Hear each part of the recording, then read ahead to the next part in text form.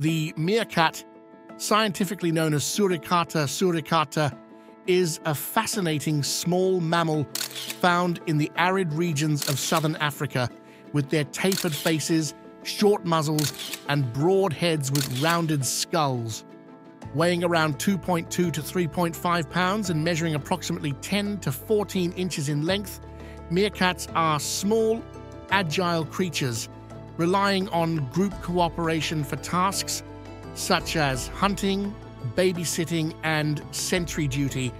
They live in tight knit family groups called mobs. They eat fruits and vegetables as well as animals such as insects.